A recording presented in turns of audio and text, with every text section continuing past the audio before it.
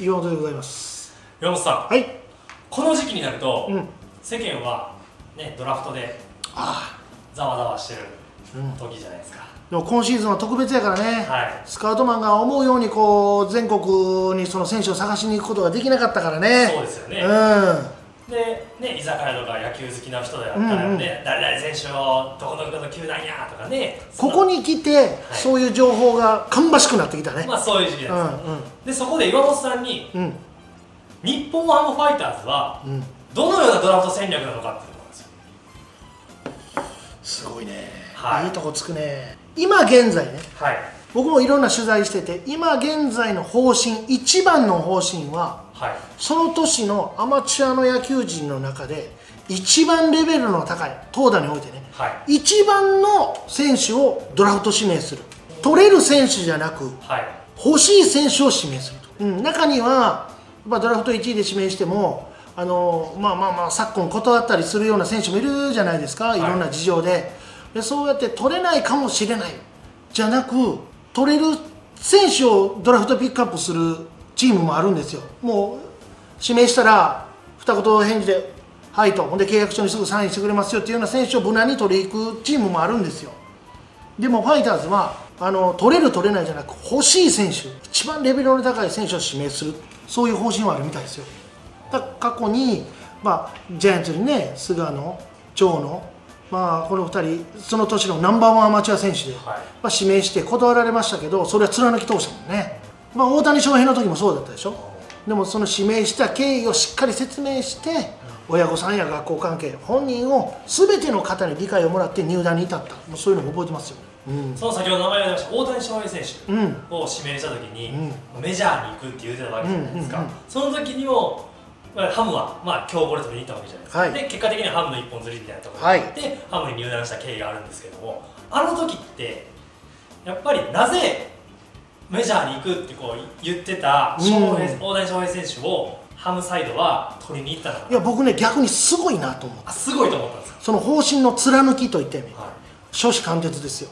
あの確かにあの時あのー高校大学社会人全てにおいてナンバーワンの注目となれば大谷翔平だったでしょ？い、そうです。それはあのすぐ即戦力じゃなく伸びしろも踏まえてナンバーワンの評価を持っている全てにおいてね、はい。大谷翔平だったんですよ。はい。でも本人はメジャーリーグのプレーを希望してましたがでも指名できる指名をする権利があるチームだったので指名をしてはいけない権利なんかなかったですよね。はい。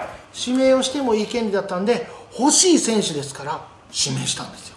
でそこから交渉してもいいですよね。はでも初めね交渉の席もつけなかったはず。断られたはずなんですよ。挨拶はしたんですけど、いはいはい。一度でいいから聞いてくれ。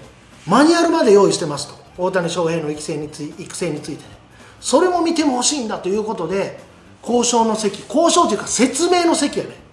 うん、そこで徐々に徐々に徐々に徐々に周りの方の意識が変わり一番は両親の意識が変わった。でもファイターズで彼を完成させじゃなくプロ野球選手とは野球社会人とはっていうのをしっかり理解させた上で世界に羽ばたいてもらいます。ファイターズはそのステップの1なんですよ。って言ったことにまずをもって両親がファイターズで一つ経験を積ませようかという気になってくれたと思うんですよね、うん、で大谷翔平も家族会議を重ねる中でまず日本のプロ野球で職業野球とはというのを経験体験してアメリカに羽ばたいていったということだと。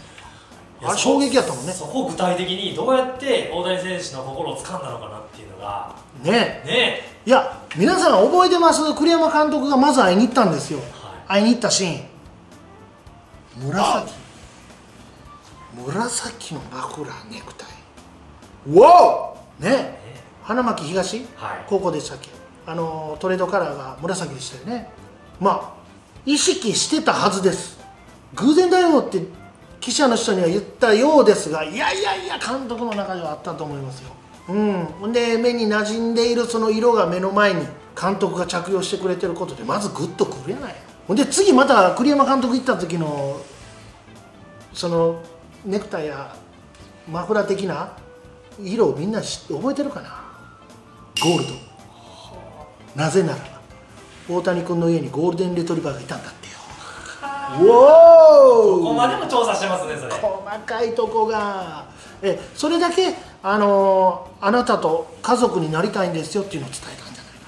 まあこれがね、あのーファイターズのドラフトの信念であると。はい。で周りのチームもいろんな信念持ってます。あの各球団ね。でも取れるじゃなくて取りたい欲しい選手を指名するっていうのはすごく強調されてますね。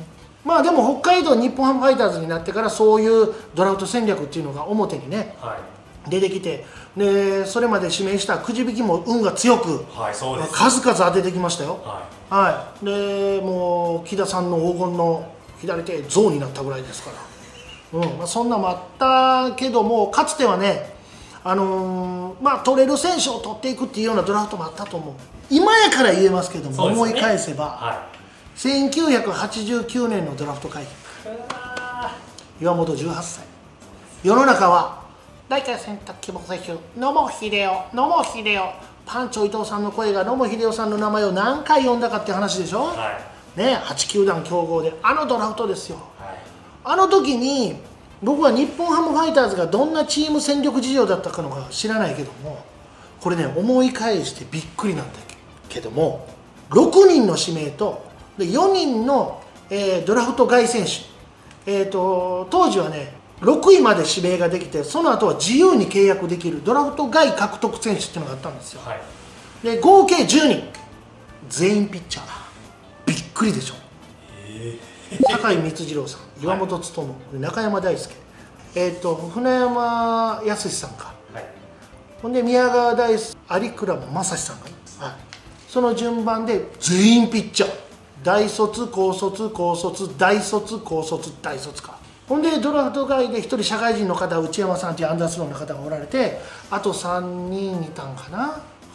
ずちょっと待ってその時ドラフト10名がうん。全員ピッチャー。じゃないですか。でそのうちの1人が岩本さんじゃないですか。そう。ほんで僕ねだからもう全員ピッチャーですよ。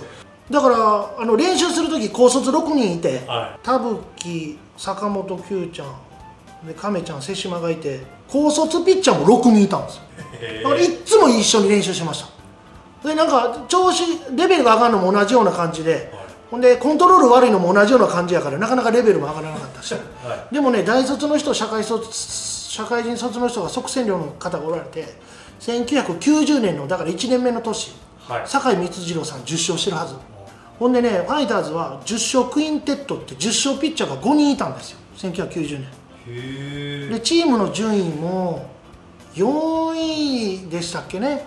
はい。ほんでチーム防御率も良かった。そこそこ良かったのかな。でも打線が振るわなかった。はい。でも今やから言えますけどだって打者1人も取ってないでしょ。はい。底上げゼロなんですよ。でトレードで獲得っていうのもそんなにしなかったチームがはその前の89年のシーズン成績悪かったファイターズが、まあ、強くなることはないですよね。いないですね。だってカンフル剤も入ってないんですよ打者。だ結局は90年弱くだその時にはチームの底上げポイントを補充するドラフトではなくこのしこの選手この選手将来的に見込みがあるで即戦力っていうのがピッチャーばっかりになってしまったことがドラフト戦略でいうと成功とは言えなかったと思うな、まあ、後々僕は16年プレーさせてもらいそのメンバーの中では一番長くプレーさせてもらいましたけど、はそれでも1989年のドラフト90年のシーズンといった意味ではドラフトが成功したとは僕は言えないと思う、うん、だって10勝ピッチャー5人で優勝争いしてないっていうね、うん、いでその時何か言われるんですか？いやピッチャーばっかりかよ。でピッチャー強くなるかもしれないけど全然打たないよってもうチーム内でも言ってくる言ってたぐらい。はい確かにもう先輩方には申し訳ないんですけど、はい。打つ方野手陣は強いと言える選手は少なかったかな。ほんでその次の年だから90年のドラフト。はいドラフト1位住吉さんって即戦力のバッター取ってるはず。住吉さんです。でそうやって野手野手でいったはずなんですよ。でなんかねその辺りから僕もチーム事情が見えるようになってドラフト戦略っていう言葉がちょっとずつ聞こえてきたかな。それまではあんまりなかったんじゃないかな。ああなるほど、うん、でも今はこの選手を獲得することによって既存の選手たちのレベルも上がるとかそんな見込みも計算して選手を獲得するんですよ。だからその選手を獲得してその選手の戦力もあるけどもはい。戦力もあるけども獲得することで周りの選手たちの底上げを図れる相乗効果を生みチーム全体が強くなるっていうところまでしっかり吟味してしっかりミーティングしてドラフトに挑んでるはずですから。そういう駆け引きも見てもらうとドラフト会議今番組やってますよね。見てて見応えあると思いますよ、いやハムのねドラフト1位過去ドラフト1位うん、まあ見事一一軍で活躍してるんです。よしてると思います。で去年で川野投手。はい、まあこれからですよ。ではい。実際一軍でも投げてますし、はい投げてます。で2018年吉田康生投手、はいはいはい。でまあ、ネオ選手を取りに行って、まあ、外れうんうん1位ですけど、うんで2017年清宮選手、はい。一軍いますよね、うん。2016年が堀瑞希投手、はいはいは外れて外れて、まあ、結果的に堀選手取ったんですけど、いうん。まあくじ運でね。はい。でもその上位で上から1、2、3番目ぐらいまで指名してる選手はもうほぼほぼ活躍できてるとす思います。ごいですよね、これね、2015年、上原投手、はい。投げてます今年グッと来てるじゃないですか、でうん、で2014年、有原投手はい。やっぱそのあたりからあの一番レベルの高い強い選手から指名していってるんですよ、はい。まあ、くじで外すことがあありましたけどやっぱレベルの高い欲しい取りたい選手をガンガンいってるっていうのが分かりますよね。そうですよね、取れるじゃないんですよ。取りたい、欲しいなんですよ。ほんで口説き落とす。口説き落とす。俺も得意やねんけどな。山本さん、口説かれたわけですもんね。僕はもう大沢啓二さんの一言で親父がよろしくお願いします言うてまとまった次第です。そこから縁の始まりですね、えー今年のドラフト会議も要注目ですよ。毎度お気に